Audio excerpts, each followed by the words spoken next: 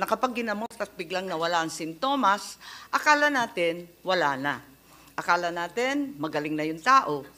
Akala natin napuksa na natin ang sakit. Kaya ihihinto natin yung gamot. Hanggang isang araw, lilitaw ulit ang sakit.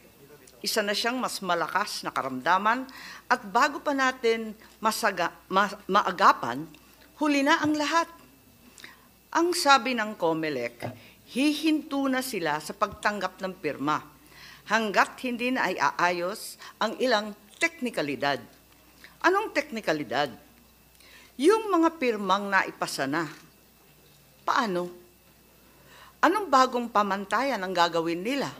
Kung aatras at nagbago ang isip ng tao, anong gagawin? At marami pang ibang tanong. Maaring masaya tayo ngayon dahil akala natin na pagpahinga na natin ang usapin ng PI nila.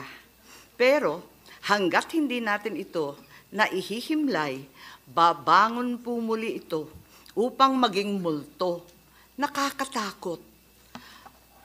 Panoorin natin ang isang maikling video ng karamdamang mabilis na ipakalat na sa pamagitan ng pantatanga sa kapwa, paglulustay ng salapi, at pagsisinungaling ng matatakaw na opisyal. Yang sakit na yan